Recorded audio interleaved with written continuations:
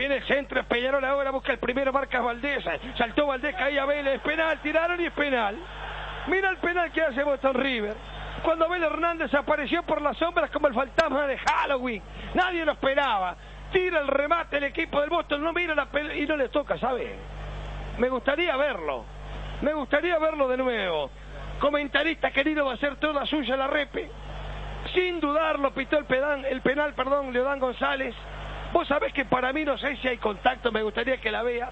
Apróntese. Lo van, van a cambiar el pateador, me parece, Yamila. ¿Le va a pegar a Abel? Así es, le va a ejecutar a Abel Hernández. Bueno, vamos a esperar porque para mí va a haber chequeo. Martín, toda tuya. Bueno, yo sin verla, sin verla, para mi gusto es penal. Me quiero quedar con mi opinión antes de verla. Después ratificaremos. Para mí es penal, claro, que quiere que le diga. Le pega en el tobillo. Sí, sí, sí, sí.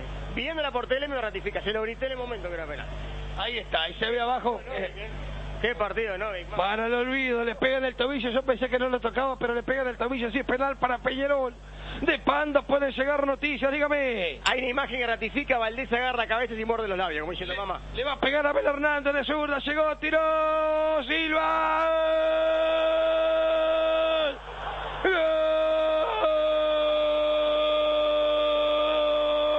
Gol de Peñarol, el negro, el negro, el negro. El negro, el negro, el 9. 9, Abel Hernández. Pim, pum, pa, Abel. Leña para el carbón. Lo Fútbol. que tienen este tipo de situaciones. Porque el portero Silva volaba contra el parante derecho y tapaba el penal de Abel Hernández. Pero el rebote le quedó de macho. Y el pandense que viene de la ciudad industrial le pegó nuevamente de zurda, la mandó a guardar al arco de la Guelfi. Exactamente en 39 minutos del primer tiempo. Abel Hernández marca que Peñarol le gana al Boston 1 a 0. El negro Abel, el negro Abel, pim pum pam. Leña para el carbón. Fútbol Centenario.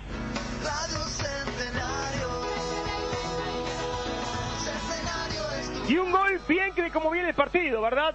¿Por qué? Porque el remate es mal pateado también por Abel Hernández, fue muy mal ejecutado el penal, ataja de vuelta el arquero Silva de Boston River, pero aquí sí una reacción anímica de Abel Hernández, que no hubo con Arezzo en anterior, de que fue inmediatamente a buscar el rebote, le queda la pelota para él y le pega media mordida también a la pelota y ingresa por la mitad del arco y pone el 1 a 0 para Peñarol. Usted me pregunta, ¿y es justo? Y me parece que no, me parece que el empate le caía bien a estos primeros 45, pero bueno, el fútbol a veces no tiene lógica y no justicia, y en este caso el que es más efectivo es Peñarol, y créame que es un primer tiempo del Código Penal.